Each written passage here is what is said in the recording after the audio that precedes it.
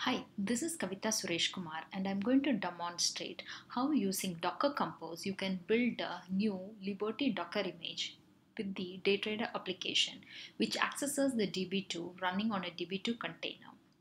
So let us start the demo by launching the Docker Quick Start terminal.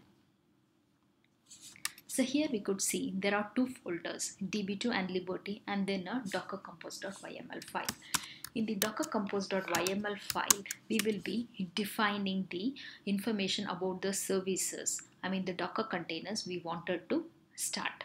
So here we are going to use the file version as 2 and the we are going to define two services for running the DayTrader application. Because the DayTrader application uses the db2 running on the another container so we have we have defined a db2 service and the DayTrader application is running in a liberty service. So here you could see we are giving build equal to dot slash db2 slash dots which indicates you build a db2 image using the docker file which is available in under this folder. Similarly we'll be building a new liberty image and when you start the db2 container so it is going to do the port mapping 50000 to 50000 and then this is a command which will be executed as part of the container startup. And then we will be passing these two environment variables during the container startup.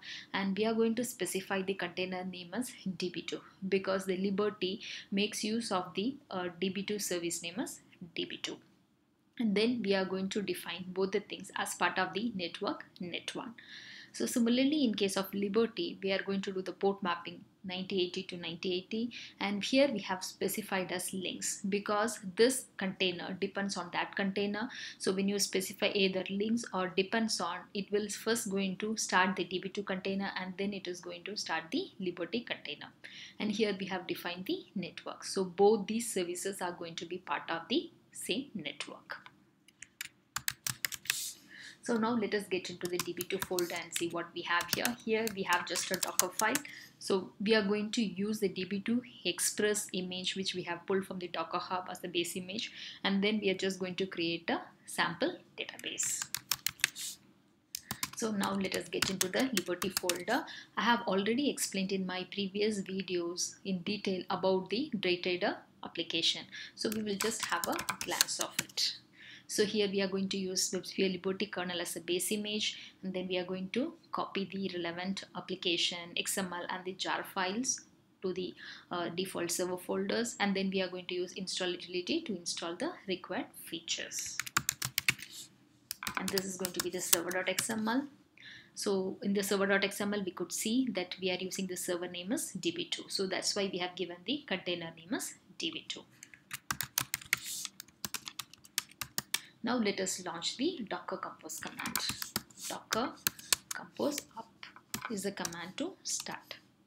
So first it is creating the network and then it is creating the two containers db2 and the liberty container.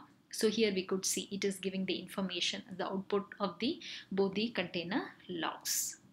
So the DB2 has been started successfully. Now the Liberty container, it is monitoring uh, the drop-ins folder for the application and then you could clearly see the data application has been successfully started. So let us access the application in the web browser. The application name is DayTrader. So we could clearly see that DayTrader application has been successfully launched. So let's click the configuration. So create DayTrader database. So the database tables are getting created. So let us update some configuration information so let's make it to 150 so that we'll be able to run the application. So then we'll click update config. So it has been updated. Now let us go and populate the data database. The database is getting populated. The tables has been successfully populated. Now let us go and perform some operations. Click login. Go to codes and trades. Perform some transaction and then click log off. So as part of this demo, you have seen how using Docker Compose, we were able to build new uh, Docker images for Liberty and DB2 and successfully run the DayTrader application. Thanks for watching the demo.